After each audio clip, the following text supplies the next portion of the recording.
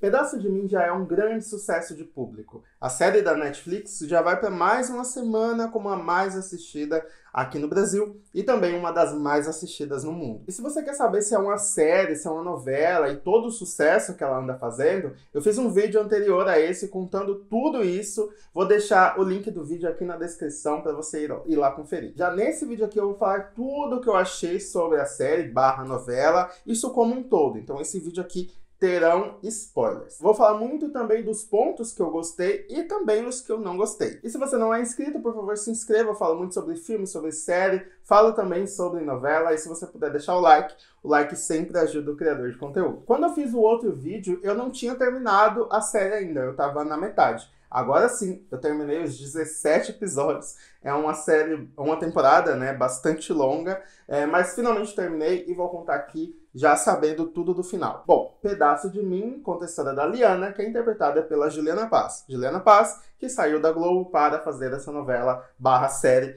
lá na Netflix. Ela é uma mulher de classe média que trabalha como terapeuta ocupacional com crianças. Ela ajuda crianças com necessidades especiais. Uma dessas crianças, inclusive, é o seu sobrinho, filho da irmã do seu marido. Ele é um menino que tem um problema grave de visão e isso vai fazer com que ele fique cego futuramente. A Lena vive um casamento aparentemente tranquilo, mas o seu grande sonho mesmo é ser mãe, e para isso ela passa a tomar estimulante hormonal para acelerar esse processo. O problema é que ela acaba descobrindo uma traição do seu marido Tomás, que é interpretado pelo Vladimir Brista. Os dois brigam e ele decide fazer uma viagem para esfriar a cabeça. O curioso é que a viagem é com a própria amante. Então a sua amiga Débora, interpretada pela Marta no Will, na intenção de alegrar sua amiga Liana, chama ela para ir numa inauguração de uma balada do seu irmão, que é o Oscar, interpretado pelo Felipe Abi. O Oscar, ele foi o melhor amigo do irmão da Liana, e eles basicamente cresceram juntos. Mas os dois, na juventude, acabam sofrendo um acidente e o irmão da Liana acaba morrendo. Quando eles se reencontram na boate, eles ficam muito felizes,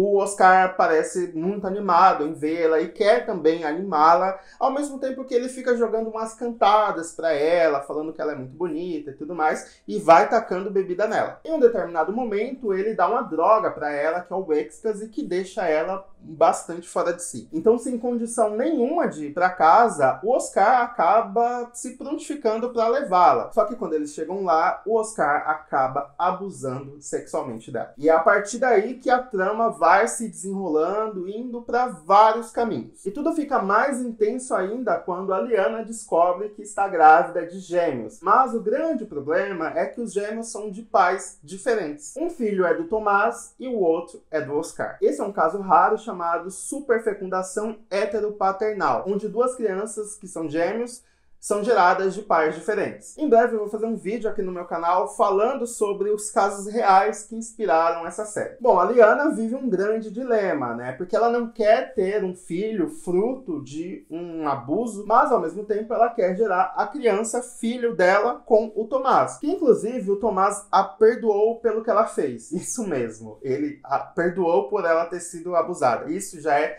extremamente problemático e eu vou elaborar um pouco melhor mais pra frente. Então eles decidem juntos que a Liana vai ter essa criança, mas quando o filho do Oscar nascer, eles vão mandá-lo direto para a adoção. Já até acharam ali pais que querem adotar. E toda a gravidez da Liana é bastante conturbada. Eles é, mantêm isso como um grande segredo. A única pessoa que sabe mesmo é a Silvia, irmã do Tomás, que é médica. Ela é interpretada pela Paloma Duarte e é uma das melhores personagens dessa história. O arco dela é bem interessante, eu vou falar um pouquinho mais pra frente também. Então a Liana entra em trabalho de parto num sítio bastante afastado. Ela faz isso de propósito porque ela tem planos para essas crianças. Só que sem ela saber, o Tomás acaba pegando o Marcos, que é o filho do Oscar, e leva lá para os pais adotivos. Esses personagens, a princípio, eu achei que eles não iam ter é, influência na história futuramente seriam só personagens que estariam ali para adotar o Marcos e depois não iria dar certo e esses personagens iriam sumir, mas eles retornam ali para metade, para o final da série. E aqui acontecem muitas coincidências é, convenientes para a história, né? E eu acho que a gente precisa relevar. É muita coincidência que esses pais futuramente vão adotar uma menina que vai ser namorada do Matheus, que é o outro gêmeo. E eu vou falar um pouquinho também mais pra frente. Mas aqui eu acho que a gente tem que relevar muitas coincidências aí que vai né, acontecendo nessa história, porque se a gente ficar muito pensando, ai, nossa, isso jamais aconteceria na vida real, a gente não vai curtir todo o processo da história. Mas bom, quando a Liana descobre que o Tomás levou essa criança sem o seu consentimento, ela vai atrás e pega o Marcos de volta, falando que não conseguiria separar do seu filho, mesmo ele sendo fruto de uma coisa horrível que aconteceu com ela. Ela jamais deixaria esses irmãos gêmeos, que é o Marcos, filho do Oscar, e o Mateus, filho dela e do Tomás, é, separados. Inclusive, são gêmeos totalmente diferentes. Um é maior que o outro e tudo mais. Um dos grandes momentos da série é justamente o meio dela,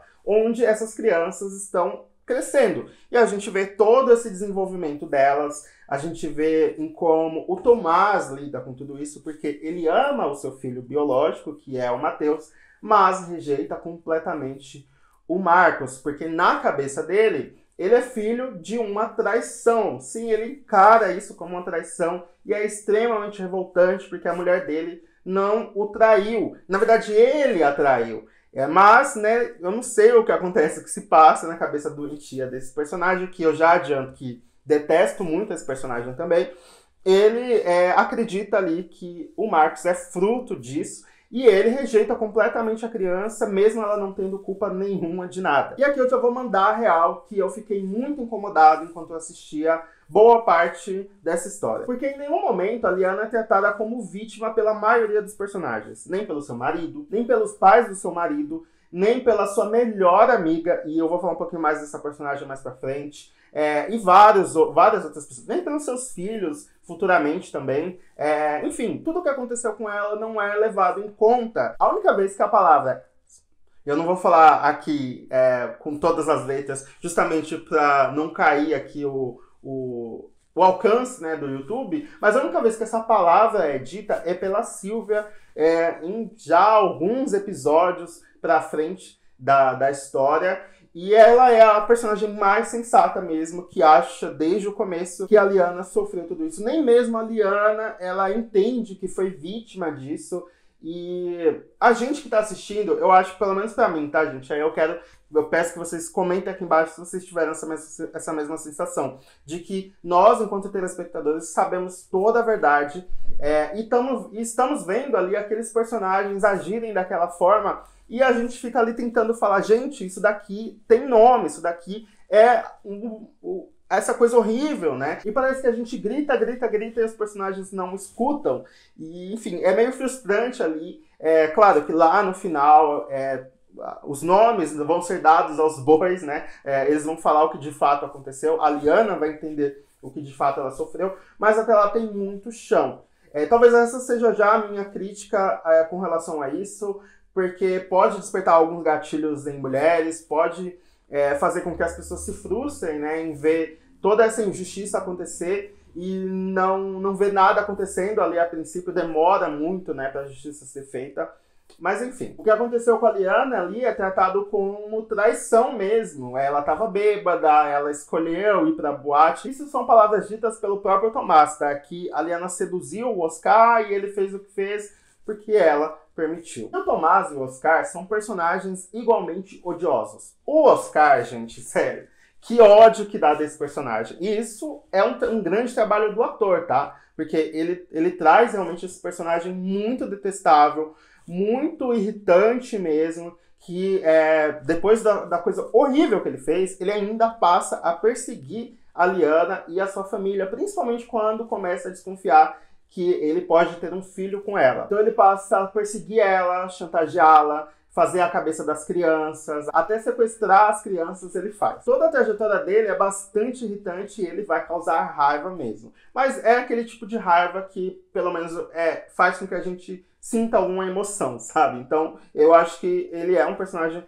muito importante ali pra trama. Já a sua irmã, eu acho ela igualmente irritante. Porque, poxa, ela é a melhor amiga da Liana, ela sabe que seu irmão não vale nada e mesmo assim ela fica do lado dele. Ela não acredita na sua amiga e prefere acreditar nele. E, sério, personagem horrível. É, desde o começo, ela chama a amiga pra ir pra balada depois ela vai embora e deixa a amiga sozinha lá, sabe? Sério, que tipo de amiga é essa? É uma amiga que eu jamais teria, de verdade. Já falando do Oscar, eu acho interessante unirem ele a Cláudia, que é a amante do Tomás. Eu acho que a série precisava, assim, de um antagonista mulher, de uma vilã. E essa personagem é o tipo de personagem que você não sabe muito bem o que fazer ali que ela poderia sumir ali logo no começo da história, por ter sido amante dele e tal, mas ela retorna aqui não só uma, como duas vezes, ela fica ali por um tempo com o Oscar até ele ser morto, e depois ela volta, né, pro Tomás e fica naquela relação péssima ali, enfim. É uma personagem que realmente não se dá nenhum pingo de valor. Mas voltando lá porque eu tava falando das crianças, e aqui, gente, eu vou falando do começo, do final,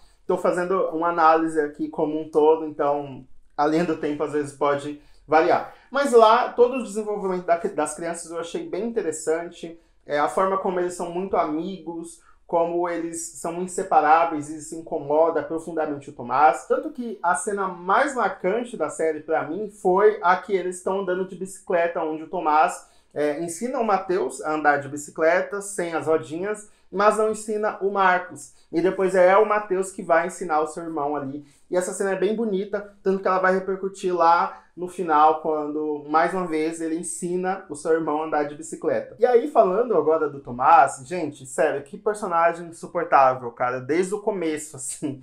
Porque ele é o, é o é marido, né, da Liana, que ele comete um erro, né? Ele trai ela, ele escolhe traí-la, diferente dela, que não escolheu nada do que aconteceu com ela mas ele o tempo todo culpa a sua esposa, ele rejeita uma criança, ele não tem discernimento das coisas, sabe? É um personagem completamente egoísta. E ele acaba matando o Oscar depois do Oscar tanto perseguir eles, é, provocarem e tudo mais. E aí ele vai pra cadeia e lá ele se torna um líder religioso. E quando a gente percebe que esse personagem não poderia ser mais irritante, ele fica ainda mais porque justamente ele coloca isso de que precisa contar a verdade, ele precisa viver da verdade. E a verdade para ele é de que a sua mulher o traiu. E aí quando ele sai da cadeia, ele tá completamente diferente. Aí sim que ele rejeita o Marcos, dizendo que não é pai dele e que é apenas do Mateus. E tudo que ele vai fazer a partir dali é muito irritante. E agora falando um pouco lá da metade da série pro final, é, quando os meninos crescem e já ficam quase adultos, né, eles estão ali na escola, no ensino médio, é, a série vai se tornando meio que uma malhação, né? São dilemas, de fato, de jovens ali. É, os meninos acabam tendo um outro vilão ali para lidar, que é um colega ali da escola que não simplesmente não gosta deles, acaba descobrindo que o pai deles é um assassino e está na cadeia, isso repercute muito na escola. É, enfim, aí esses meninos têm os seus amores, né? O Matheus acaba namorando a Júlia, que é filha daquele casal que tentou adotar o Marcos lá no passado. E aí, como eu falei, aqui tem uma grande coincidência. E essa é uma personagem que também entra para a história e acaba lidando ali com os problemas da família. E por todos esses anos, um grande segredo ficou ali guardado, né? Pela Liana, que não queria em momento nenhum que os seus filhos soubessem da verdade. Até que a verdade começa a vir à tona. O Marcos descobre, através desse casal que eu falei, que quase foi adotado por eles. Depois disso, ele descobre que é filho do Oscar e passa a acreditar ter sido fruto de uma traição, até que lá no final ele descobre que não, na verdade, ele foi fruto de um abuso. Essa é uma história bastante tensa mesmo, tá? ela não é uma série tão fácil assim, porque, como eu falei, são assuntos muito delicados e eu acho que, como eles vão levando isso, é, causando né, essa, esse, essa sensação de injustiça por todo o tempo, são muitos personagens é, detestáveis, além do Tomás e do Oscar, tem os pais do Tomás, que são dois personagens horríveis, assim. É, apesar de eu achar também que são personagens muito convenientes ali para a história. Em alguns momentos eles são legais, apoiam algumas coisas. Em outros momentos eles são horríveis, né? Quando eles descobrem que o Marcos não é, é neto deles, é, biologicamente falando, e aí eles são pessoas horríveis, assim. A, a personagem mais sensata mesmo que eu achei dessa história foi a Sylvie. E aqui falando do arco dela, puxa, que personagem legal, assim. Ela é uma médica, que tem um filho que, como eu falei, se tornou deficiente visual e ela é uma mãe super, hiper, mega protetora, porque tem medo do seu filho se machucar e tal, ao mesmo tempo que seu filho quer ter uma vida normal, quer ser independente, quer namorar e tudo mais. E eu acho que esse é um tema bastante relevante, é um tema muito necessário para ser falado hoje em dia. E eu gostei muito do arco dela, assim, é uma personagem muito legal, feliz que ela terminou muito bem, casada e finalmente fez a viagem que o seu é, namorado barra marido tanto queria. Em todo momento ela foi amiga e parceira da Liana, mesmo indo contra o seu irmão, diferente, muito diferente da Débora, que resolveu ficar do lado do, de um criminoso, né? É, enfim, Silvia maravilhosa, Paloma Duarte muito incrível, como sempre. Adorei muito, muito o arco dela. E aí, falando aqui da Liana, feliz que no final, pelo menos, ela entendeu o que, que ela passou. E ela contou toda a verdade, não só para seus filhos, quanto para o mundo. E aí, ela escreve um livro e ela dá a volta por cima é, se reencontra, acaba encontrando um amor e termina feliz. Esse era o meu medo enquanto eu assistia, de tipo, gente, essa personagem nunca mais vai ser feliz, essa personagem não vai acabar bem. Esse era meu grande medo mesmo. Mas, enfim, no fim, tudo deu certo. Diferente do Tomás, que tenta matar eles no final, né? Botar fogo na casa, acaba sendo preso. Talvez eu tenha achado que esse não tenha sido um final tão justo assim para ele, porque só ter ido preso por tentativa ali de homicídio não vai fazer ele passar o resto da vida na cadeia, que é o que eu queria mesmo, pra ser bem sincero. Agora falando aqui umas coisas que eu não gostei na história. Primeiro, eu achei alguns diálogos expositivos demais, tipo, explicando muito o tempo todo é, para quem tá assistindo entender, sendo que muita coisa já já estava muito bem entendida ali. Por exemplo, a parte que os meninos nascem, é, os nomes deles são falados constantemente, ao, ao, a todo momento. Marcos e Mateus, Marcos e Mateus. Eu acho que é pra gente saber quem é quem, já decorar ali. Mas logo ali nas primeiras vezes, eu acho que a gente já decora os nomes deles, então não precisava falar tantas vezes. Sobre os gêmeos também, quando eles descobrem toda a verdade, eu acho que eles passam muito tempo ali naquela revolta, principalmente Marcos é, vários e vários episódios, ele extremamente revoltado. O lance dele ter perdido a memória, talvez, eu fiquei pensando, será que precisava disso, desse momento? É, enfim, eu acho que passa a ser um pouco cansativo quando eles descobrem toda a verdade. Outra coisa também que me incomodou bastante foi a linha do tempo porque a gente está falando de uma história que se passa ali ao longo de vários e vários anos. E eles tentaram usar a tecnologia para demarcar esse tempo além da, da data né, que é mostrada ali. Então, é, logo no começo, a gente tem os celulares é, mais antigos sendo usados e tal, e aí lá para o futuro a gente tem celulares mais modernos e outras coisas que eles vão usando ali. Alguns personagens falam também, ai, nossa, como isso evoluiu, como tá tudo moderno agora. E aí eu acho que foi isso que eles mostraram que o tempo passou. Mas o que eles deveriam ter feito, que acredito que teria sido bastante verossímil, era é, envelhecer esses personagens, gente. A maioria dos personagens não foram envelhecidos. A verdade é essa, eu acho que só o Tomás, que acaba ali perdendo um pouco de cabelo, ganhando um pouco mais de ruga, mas os outros personagens não mudaram nada, passaram anos e anos e os personagens ficaram iguais. A Débora, gente, igual. Lá do, da, do primeiro episódio pro final, ela não mudou nada. E se passaram quase 20 anos, sabe? Então, eu acho que faltou a atenção da Netflix nisso, tá, gente? De fato, envelhecer esses personagens. Só para finalizar aqui as minhas críticas, é, talvez 17 episódios tenha sido bastante, tá? É, dava para ter condensado um pouco mais essa história. Se tivessem tirado pelo menos dois episódios, deixassem 15 ali, e tirar alguns arcos, tirar algumas partes da história ela ficaria um pouco mais fácil de assistir. Eu entendo que ela é maratonável, eu também assisti super rápido, mas eu não sei vocês, tá? Mas eu é, já estava bastante cansado ali quando estava chegando no no episódio 14, por exemplo. Então, dava para ter condensado um pouquinho mais essa história. E o personagem do Vladimir, que é o Tomás, eu achei bastante caricato, tá? Ele, ele, ele é um grande ator, eu acho que ele fez o que pôde, mas a história em si não ajudou muito no desenvolvimento desse personagem, enfim. Não gostei muito, não. Diferente da Liana, interpretada pela Juliana Paz, baita atriz, assim, ficou incrível essa personagem, em vários momentos ali de tensão, de, de drama, ela entregou tudo, assim.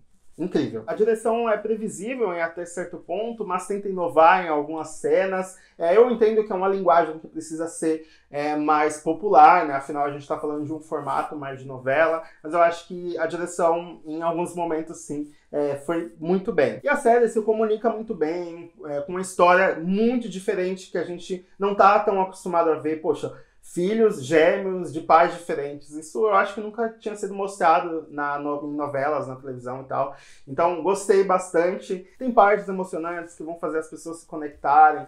Enfim, no geral, eu acho que é uma série boa, é uma ótima adição para o catálogo da Netflix. Eu fico muito feliz que é uma série nacional, que está ganhando o mundo, as pessoas estão gostando, estão comentando sobre ela. É um assunto delicado que pode gerar muitas discussões e isso é muito importante. Fiquei feliz de ver uma personagem que sofreu tanto, enfim, encontrar a paz ali junto dos seus filhos. Eu acho que é uma série fechada que não precisa de continuação. O, todos os arcos ali foram muito bem resolvidos. De verdade, eu acho que não precisa de uma segunda temporada, apesar de achar que a Netflix, enfim, é imprevisível nesse ponto, pode realmente fazer uma segunda. Acho que não precisa. Mas quero saber tudo de vocês, gente. O que vocês acharam sobre a novela? Se vocês concordaram comigo em alguns pontos, não concordaram em outros, vamos conversar aqui embaixo. É super importante o seu comentário. Em breve eu vou trazer mais vídeos aqui sobre essa novela. Pretendo falar sobre os casos reais que inspiraram a série. Quero falar um pouquinho também sobre a Juliana Paz, porque eu acho que é, o que vem acontecendo aí, não só com ela, como vários outros atores saindo da Globo indo para a Netflix, acho isso muito relevante para um vídeo, então em breve vai sair esses vídeos aqui. Se você curtiu, deixa o like, compartilha para todo mundo que gosta desse tipo de conteúdo. Até a próxima, tchau!